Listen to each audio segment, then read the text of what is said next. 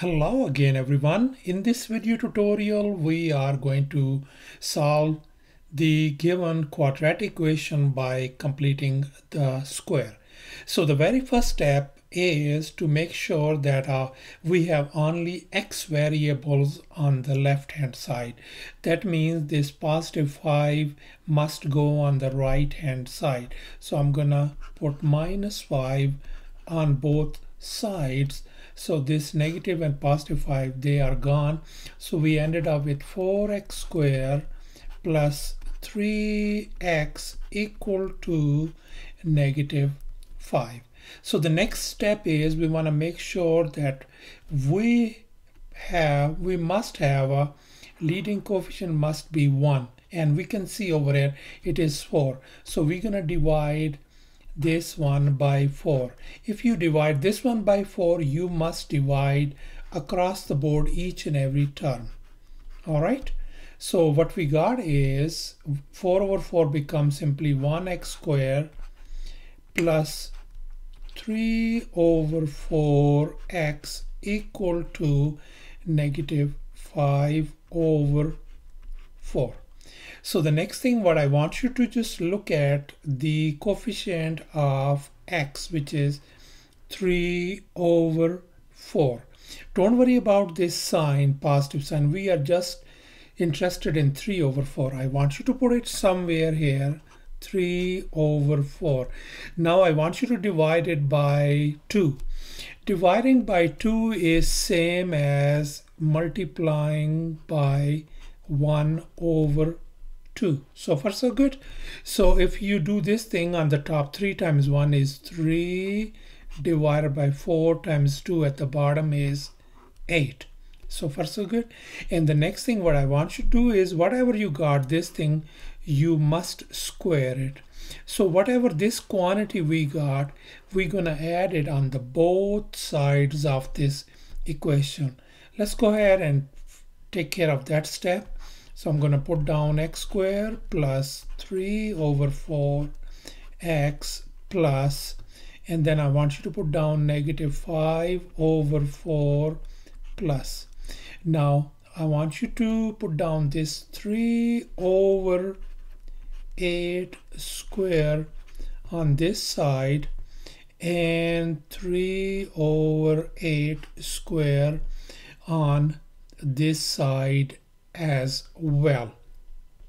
Now look at the left hand side over here in this box. This represents a complete square of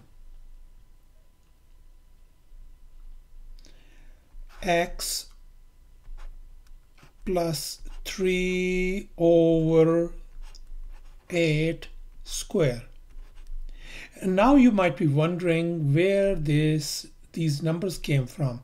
This x came over, showed up over here.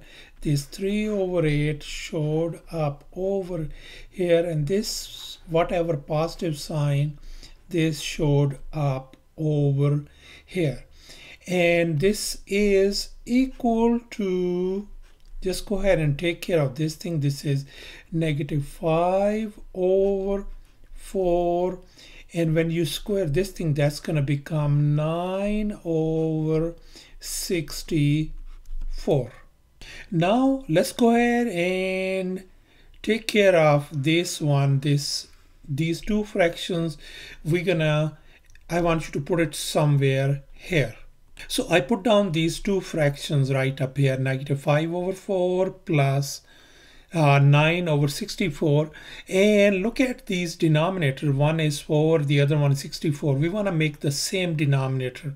So we're going to make this for 64 by multiplying and dividing by 16 so if you multiply and divide by 16 the top becomes negative 16 times 5 is 80 over 64 plus 9 over 64 since we got the same denominator you just put it once.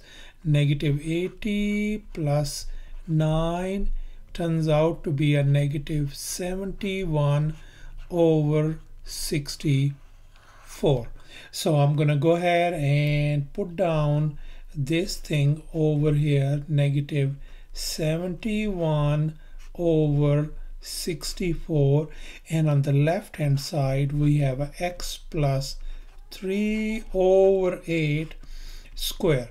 Now we want to solve for x. We want to undo this square. So we're going to take the square uh, square root on both sides.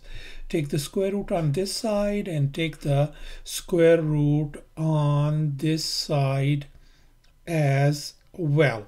So now over here, as you can see, this this square and square root they undo each other. So we got x plus 3 over 8 turns out to be a positive or negative. And here I can split it up. I can put square root of negative 71 over square root of 64 and now one more thing. Whenever you have a negative sign inside this radicals you have to be real really careful. And we know that the over here I put down whenever you have a square root of negative 1 equals to i where i is an imaginary number so I can write this one as positive or negative this whenever negative sign inside this radical converts into i times square root of 71 divided by the square root of uh, 64 which is a complete square it makes 8 and on this side it is x plus 3 over 8 now I want you to move this positive 3 over 8 on the other side so this turns out to be negative 3 over 8 plus r minus i times square root of 71 over 8. So far so good.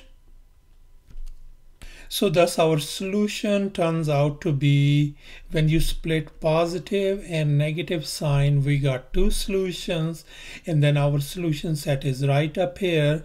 And make sure since there's a i imaginary numbers are involved we call them a complex numbers. So these are not a real number so we have no real solution for this quadratic equation. Thanks for watching and please subscribe to my channel for more exciting videos.